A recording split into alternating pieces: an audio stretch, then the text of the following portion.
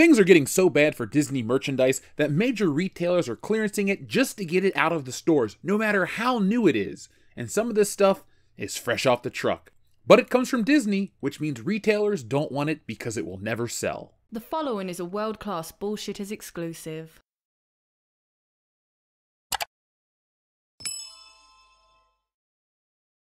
Stealing Solo asks the greatest what if question of all time. What if a group of disgruntled Star Wars fans kidnap Harrison Ford and force him to remake Star Wars in their basement? That and a whole lot more is answered in Stealing Solo, a Captain's Parody. Stealing Solo has been called Laugh Out Loud Funny and the greatest Star Wars parody since Spaceballs, and it's available now for a limited time only.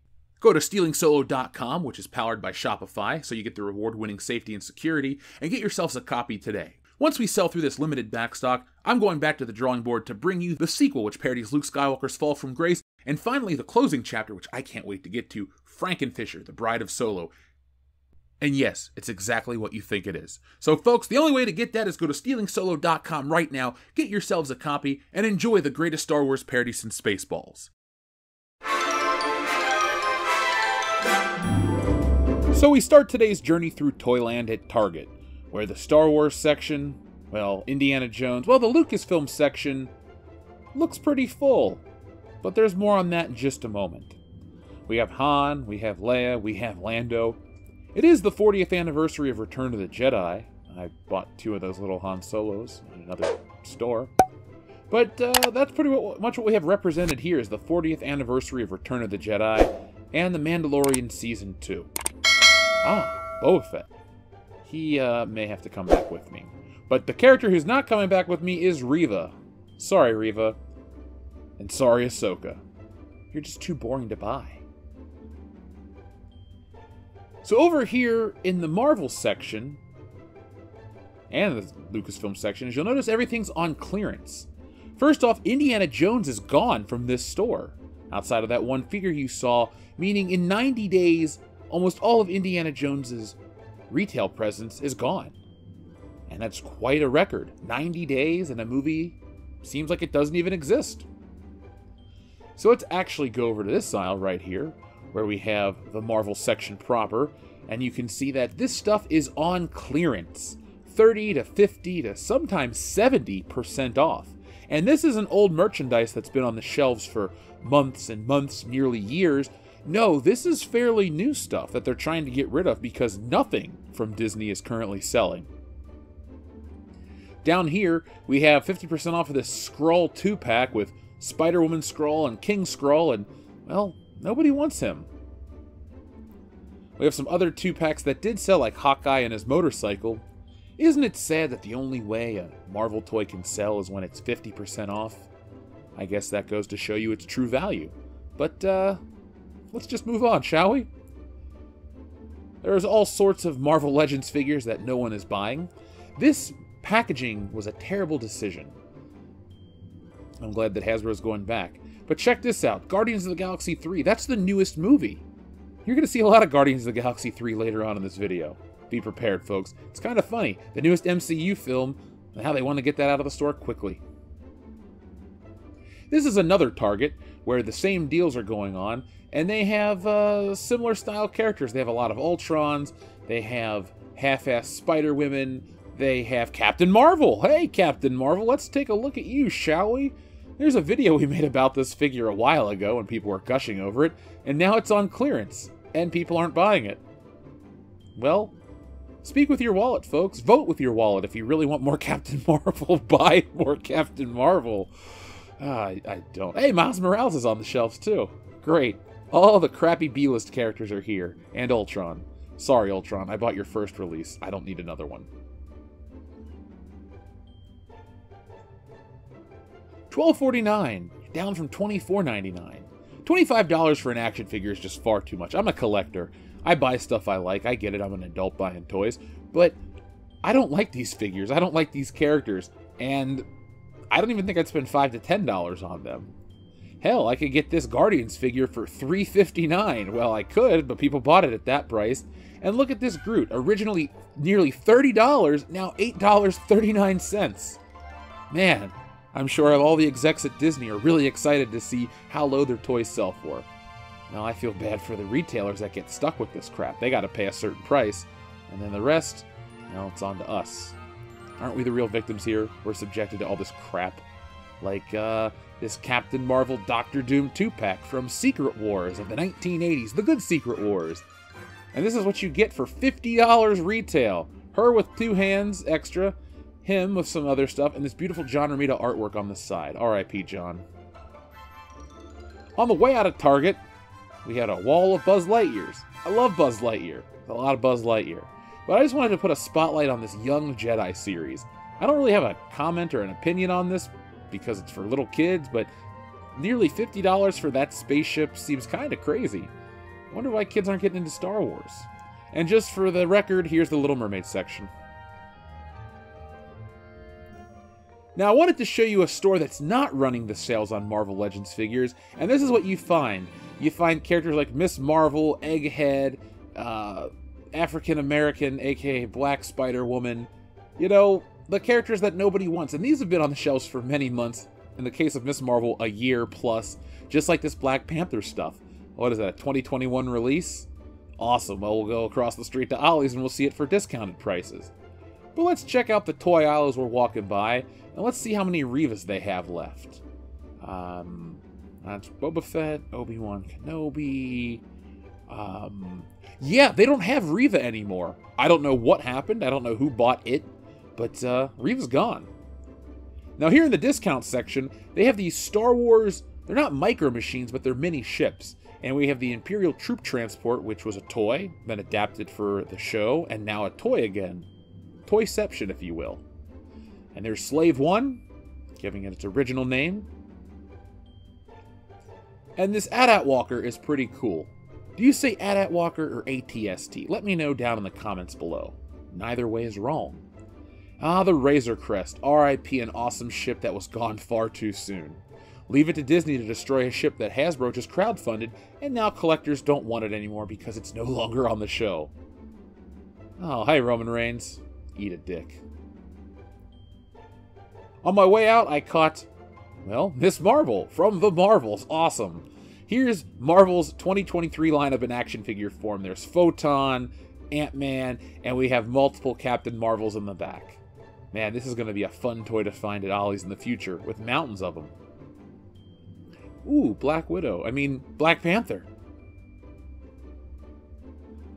Now here's our first stop at Ollie's, and this is only one part of their Christmas haul. And they have Han Solo. That's a rarity to see Han Solo on store shelves here. But we have tons and tons of Black Panther Wakanda Forever shit. Like I always say, Wakanda Forever on store shelves. We have Shuri copters and spears and oh, new helmets. All right, the Ironheart helmet. This is the most highly anticipated toy of the season. It's been out for years, so now they have to trickle it down to the poor kids. And look, you can get Shuri and the ladies, and this thing even has braids built into it.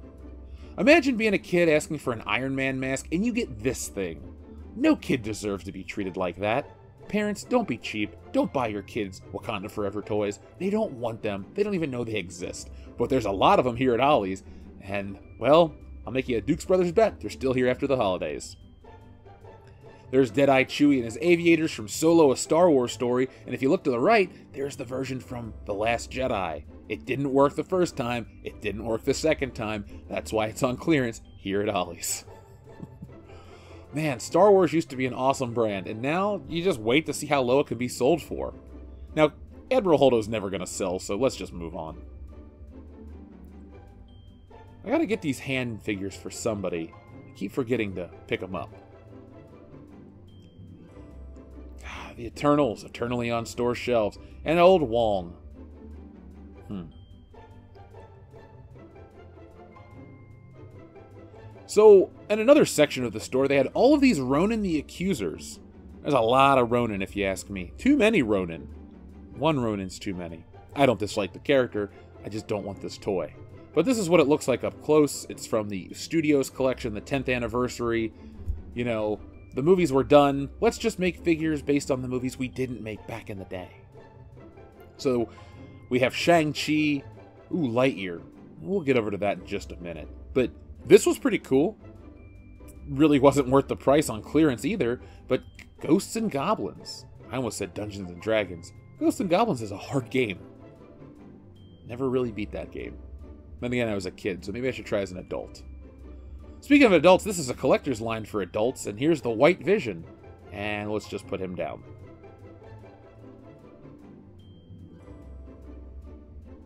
Gotta love all these Shang-Chi toys popping up at this new Ollie's location. Man, to be a kid on Christmas 2023, I got Shang-Chi and Eternals toys. My parents didn't like me. Sorry, Timmy, it was a rough year for us all. Let's check out the Barbie section. Nope. What else we got over here? More random shit, more random crap, and more Shang-Chi. But check this out. We found the rest of the visions, and this thing is jacked up. I don't think this one specifically will ever move. I'm going to come back to this location in the future and see if this damaged vision is still here. Uh, folks, hashtag damaged vision. Speaking of damaged, this is how you damage Thor. Jane Foster. I'd say RIP, but I just don't care. At all.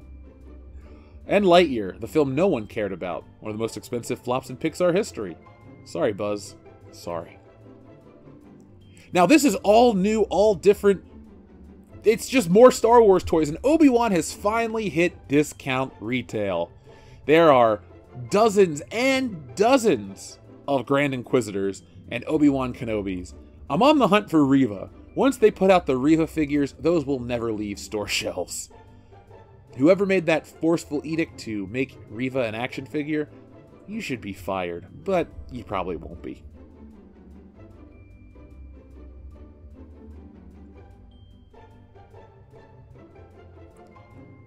Man, Space Jesus is very abundant right here. There's just tons of him and the Inquisitors. I'm still on that hunt for Reva. Didn't find her yet.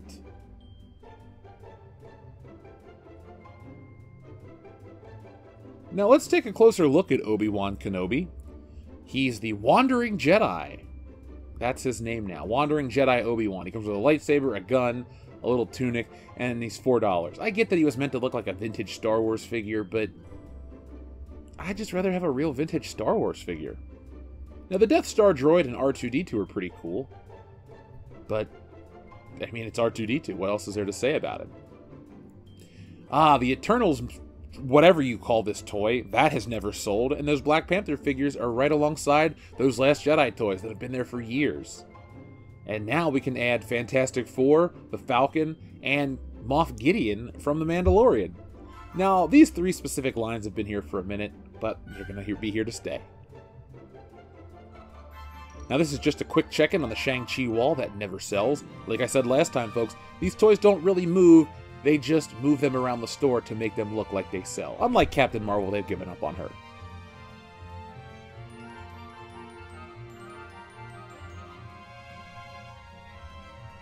Do you like Green Hornet? I don't really get to talk about the Green Hornet at all, but I used to love that show as a kid. It's got a great theme song, Kato's the man, and that episode where they met Batman and Robin is still one of the coolest crossovers ever. If you haven't watched it, check it out. I highly recommend it. Lots of Marvel HeroClix, and lots of Wakanda Forever monopolies.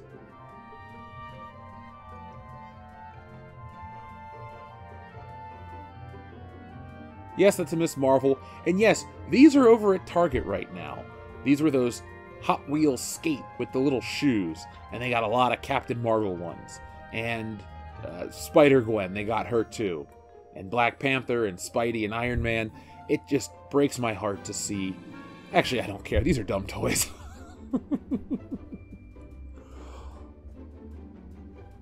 Speaking of dumb toys, this red skull with a tesseract in his chest, that's kind of dumb. But this is the dumbest toy of all time, LeBron James. What a waste. Now, on the way out, I wanted to check this out because it caught my eye. This is an entire case of one figure who is that one figure? Well, it's Ponda Baba.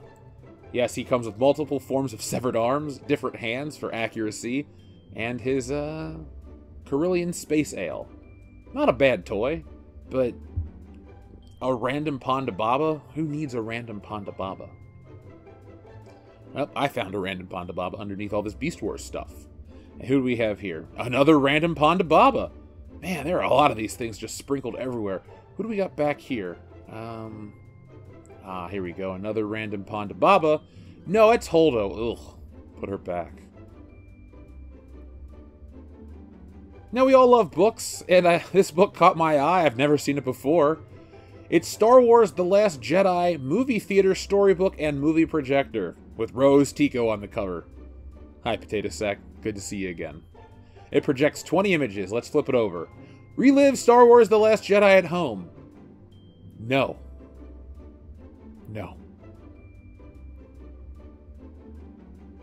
Now, this is another outlet discount cheap store, trying to be kind and polite, but uh, you'll notice they have Guardians of the Galaxy 3 in abundance. We have a row full of Nebula figures. We have Star Lord and more Nebula figures. We have Drax and Star Lord and Nebula. Oh my. Now, there is one weird thing I did notice about these figures. Star Lord is $13. Let's put him up here. Then we have Drax, and Drax is only $11. And Nebula is $12.99. Now, the one penny discrepancy is no issue, but why are they all priced differently? Is Star Lord that much more valuable? He doesn't come with any accessories. Maybe it's the Chris Pratt Premium, or maybe it's just because the store marked it incorrectly. But I find it weird. But this wouldn't be the only Marvel and Disney merchandise that I found at this store. Looking down here, we see more Guardians, but that's not what I'm going for. Ah, Wolverine. The brown suit Wolverine. What do you prefer, the brown suit Wolverine or the tiger stripe yellow and blue Wolverine? Let me know in the comments below. Yes, Snoke is still here on the shelves. This is an old toy, and nobody ever bought it. And nobody's buying that. I paid full price for this Wonder Man. I'm kind of pissed off. I was so excited to get the toy. I loved that design, and I could have got it for nothing. Now, we have Black Adam. He'll be on store shelves forever. Black Adam, Black Panther, they're all the same to me.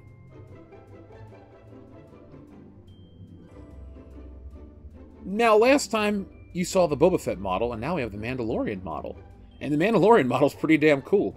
So cool, in fact, that I took one home. Ah, oh, Baby Yoda, another variety of the same damn toy. This one in a literal sack. Awesome. So if you want to dress up as Rose Tico and match with a Baby Yoda, you'll be two potato sack wearing motherfuckers. A match made in space. And the Ewoks are still not that popular. And there's Ahsoka as well. Folks, don't pay full price for Ahsoka. Go to your clearance outlet store. No one will know the difference. It's Ahsoka. Fake Boba Fett, and ah, Buzz Lightyear.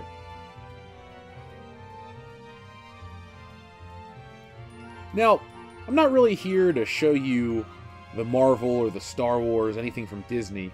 There's something specific I wanted to show you at this store. Just indulge me for a moment as we go through all the other toys, the McFarlane toys, the other DC toys made by Spin Masters. We're entering into Star Wars country, folks. And this is what I wanted to show you. Not Reva. We'll deal with her in a moment. This. I never get to see these in person, but this is a swap. This is not Kevin Nash. This is an Undertaker figure with a random-ass shirt. I wish retailers would pay attention to what they take back, but oh well, it made me chuckle and it made it into this video. Speaking of making it into this video, another Reva and another Reva. You want big Reva or little Reva or no Reva? I'll take no Reva. We all win that way.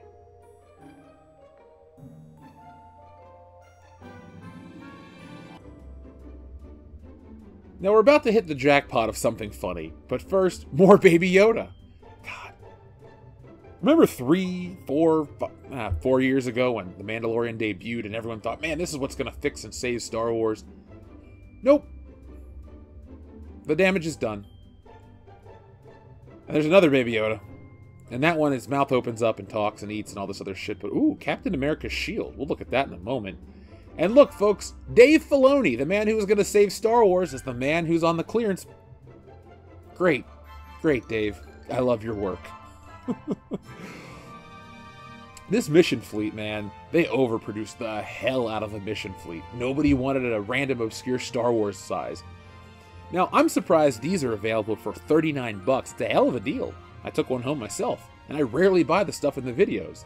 But I had to have a Captain America shield. This was regularly a hundred bucks, which is really stupid and overpriced. But I liked the stealth suit. I loved the Winter Soldier movie. So why not take the shield home? Now I didn't take this Dave Filoni helmet home with me because if it's not Luke Skywalker, I'm not buying it. But we have all these lights and features and a heads-up display, and it used to be $100 and change, but now it's only $29.99. That's what I think it's worth. So folks, if you think this crap is only worth $29.99, well, just wait to go to Ollie's. It'll all get there eventually, just like this Imperial Death Trooper from Rogue One. Man, the troop builders were probably pissed they paid full price for this stuff. One last look at this Star Wars mountain. I never thought the Star Wars supply would be so big. Oh, Chewbacca! I don't think we've seen Chewie in a while. Let's just uh, put his co-pilot, Han Solo, right there with him, and they can be dead forever together. More random Ponda Babas, more Deadeye Chewies. Oh god, it's gonna haunt my dreams. Or nightmares.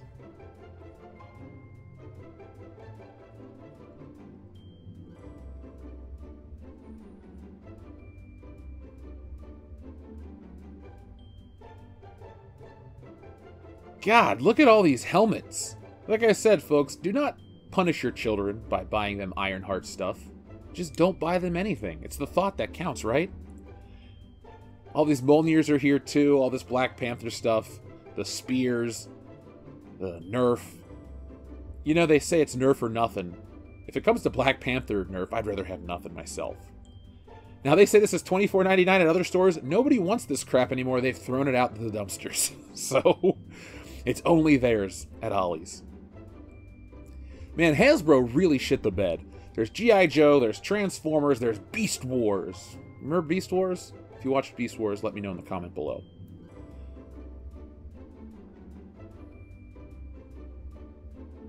And here we find our first sighting of Obi-Wan. Now we have Obi-Wan and the Mandalorian vintage retro figures. Maybe this wasn't the best idea, Hasbro. Maybe people didn't want to buy this crap. Or they did when they were based off the original trilogy characters, and you can't find those anywhere. But you can still find these bad boys, like Obi-Wan and the Grand Inquisitor, and R2-D2 with the sensor scope. That's a pretty cool one. That's vintage collection. But Space Jesus and the Grand Inquisitor are readily available at Ollie's across the country. I wonder how long they're going to stay on shelves. Are there that many retro Obi-Wan fans? I don't think so. And the die-hard fans, they couldn't wait, so they bought this stuff as soon as it dropped. Like the Ghosts and Goblins figures, we have Hellboy, and those are pretty cool. Again, they're still pricey for what they are. I just don't like 5 POA figures. I don't like the High Evolutionary, especially because I paid full price for it. That pisses me off to see this stuff.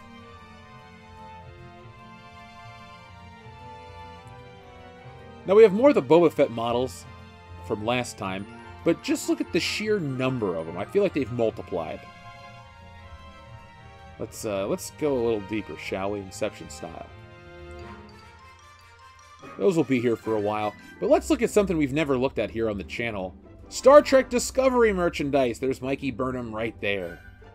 I'm sorry, Star Trek fans. You have suffered a lot, along with us Star Wars fans. Let's just call a permanent truce.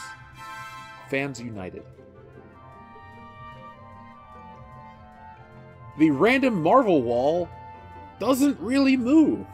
You have an abundant amount of America Chavez, Eternals, Karl Mordo, uh, Wong, all of them. And now this Black Panther section, I think they've moved like five action figures over like four months. So that's cool, that's impressive. That's gonna really save the business. And we have more Wakanda Forever and Thor Love and Thunder. Man, Phase 3 sucked. Or wait, Phase 4. Phase 4, that's the bad one. I can't remember the phases anymore. I just don't care.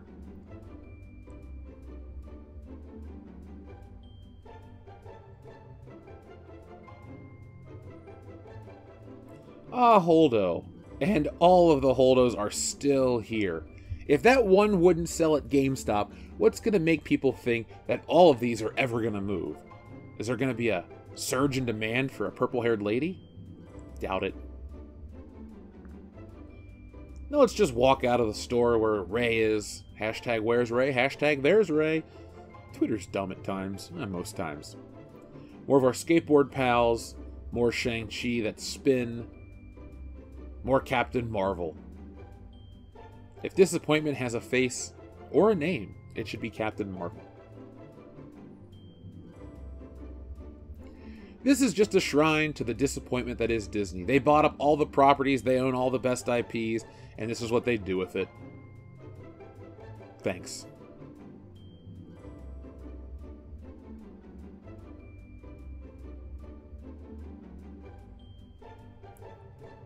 So, folks, what did you think of the outcome of all this retail rating?